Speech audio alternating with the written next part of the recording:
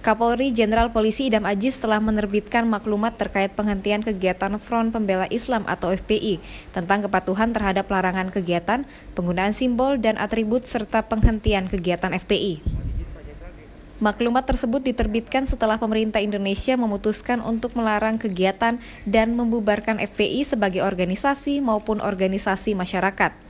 Kadif Humas Polri Irjen Pol Argo Yuwono mengatakan maklumat tersebut dibuat guna mengingatkan masyarakat untuk tidak menyebarkan konten yang melanggar hukum.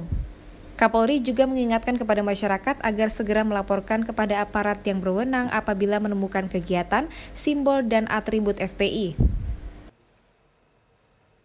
Ada SKB bersama ya, SKB bersama yaitu antara Mendagri, Kementerian Hukum dan HAM, ini juga ada Menko Info dan Jaksa Agung, Kapolri, dan dari Kepala BNPT yang tertanggal 30 Desember tahun 2020 tentang larangan kegiatan penggunaan simbol dan atribut serta penghentian kegiatan dari Front Pembela Islam.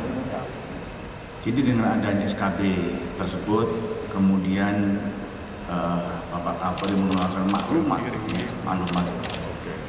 Dengan nomor MAK garing 1 garing 1 Romawi garing tahun 2021 tertanggal 1 Januari 2021 tentang kepatuhan terhadap larangan ya kegiatan penggunaan simbol dan atribut serta penghentian kegiatan Front Pembela Islam.